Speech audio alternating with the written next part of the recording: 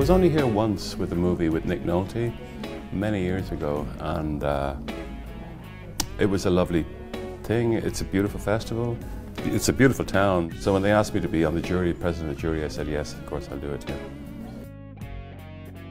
I mean, I was speaking to the other members of the jury last night. Now, I don't do the festival circuit at all, really, but there are a whole range of films, mainly European movies, you know, that only exist on a festival circuit, you know, and become kind of renowned and become celebrated. So, you know, the more cinema going becomes monochrome or industrialized in a way, you know, the more, the more important festivals become, I think.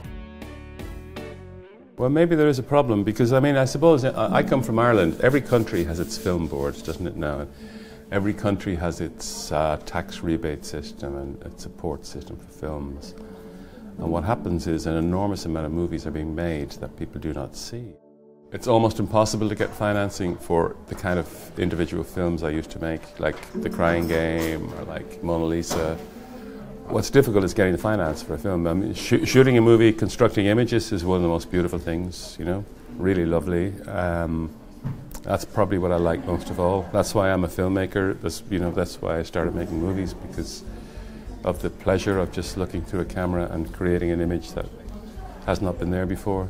I mean, I think that's the, the job of a filmmaker. You know, you see the light, you see the shade, you see the, the way the camera moves or doesn't move, you know, and your job is to realize that and make sure other people see it the way you see it, you know. And sometimes there are surprising accidents that happen from a performance of an actor or the light changes, or, but the job is one of making images as far as I'm concerned, you know.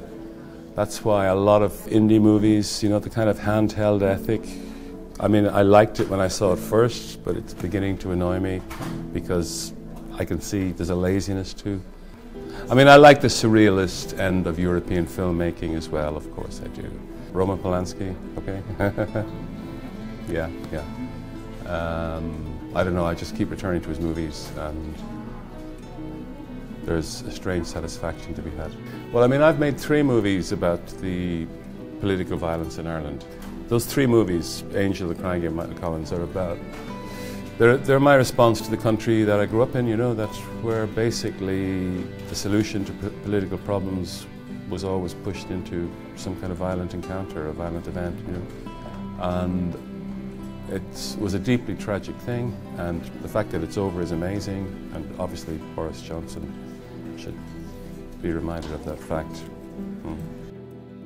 It's very difficult for a movie to be to directly address a political situation because it takes it so long to be made.